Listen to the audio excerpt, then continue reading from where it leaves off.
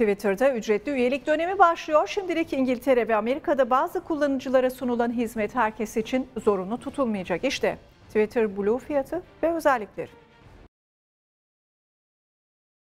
Dünya çapında milyonlarca kullanıcısı olan Twitter'da yeni bir dönem başlıyor. Twitter artık ücretli olacak. Merakla beklenen Twitter Blue adı verilen ücretli paket bazı ülkelerde kullanıma sunuldu. Şimdilik İngiltere ve Amerika Birleşik Devletleri'nde bazı kullanıcılara sunulan hizmet herkes için zorunlu tutulmayacak. Ücretli üyelik modeli olan Twitter Blue ABD'de 3 dolardan kullanıma sunuluyor. Sadece isteyen kullanıcıların geçtiği modelin Türkiye fiyatının ise 30 lira civarında olması bekleniyor. Birçok ek özelliği barındırması beklenen Twitter Blue ile tweet geri alma özelliğinin de bu pakette yer alması gündemde.